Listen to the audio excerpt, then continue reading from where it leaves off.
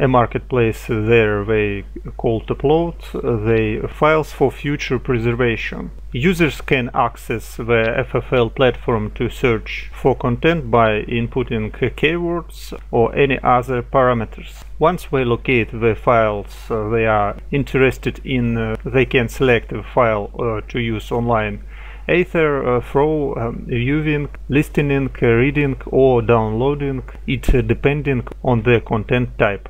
In some cases, some of the files are usually for sale and the user will be required to purchase uh, it using FFL tokens. Users can also upload their files to the library and uh, before publication our community members will have to wait uh, for the content in terms of how useful and clean it is. The file is then uh, indexed using AI tools and sent to the P2P networks desktop uh, clients where it is uh, stored and served to other users.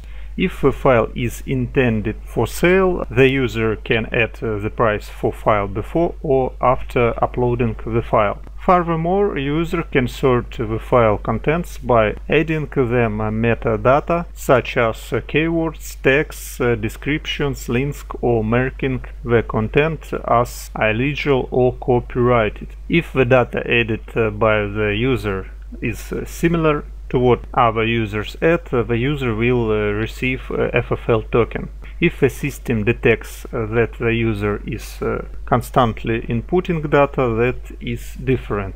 The user will be punished with a FFL token withdrawal or ban from the platform. Copyrighted content on the FFL platform is sent to the unassigned after uh, copyrighted category where their rightful owners can claim the file and add a price to them or request their removal from the platform.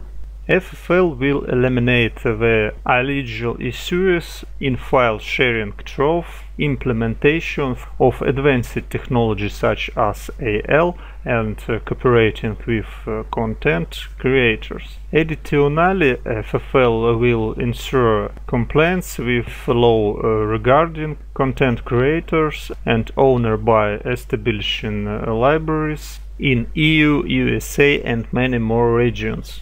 FFL will create a modern and digital file library based on blockchain technology, which will be ideal for storing, accessing and tagging uh, files for users all around the world.